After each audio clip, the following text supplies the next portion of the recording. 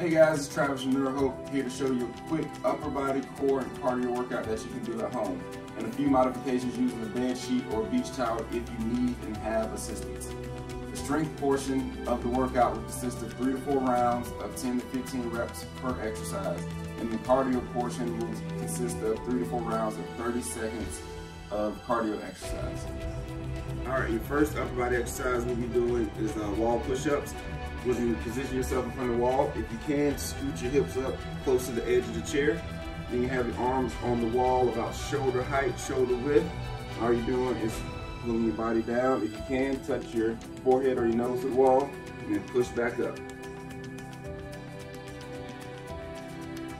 Occasion for the wall push-up. Um, the sheet around the torso. Everything's the same, hands still on the wall about shoulder height, shoulder width.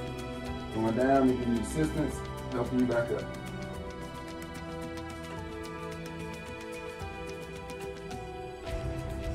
Next upper body exercise we'll be doing are chair dips. You if, you have handlebars on your chairs, you can use those, or you can use the tires on your chair if you have a manual chair.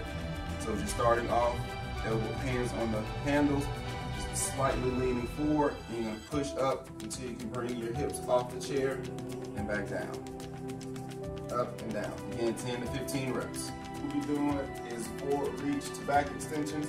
So if you can, hold both arms out, lean forward as far as you can, and come back up to sitting. If you need assistance, you can use one hand on your lap, reaching out as far as you can, using that other hand to stabilize, and coming back up. Using the sheet or the beach towel for the forward reach to back extension. Everything's still the same, You can hold the arms up, lean forward as far as you can, and coming back using assistance if needed. The next exercise we'll be doing is lateral reach to both sides. You do 10 to 15 reps each side for this exercise.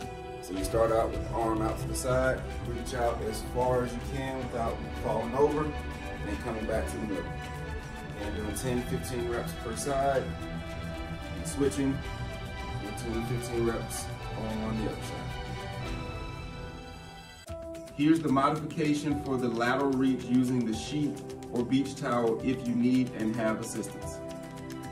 Everything's the same. Stick your arm out to the side, just leaning over, and the assistance, if you need it, will help keep you from falling over.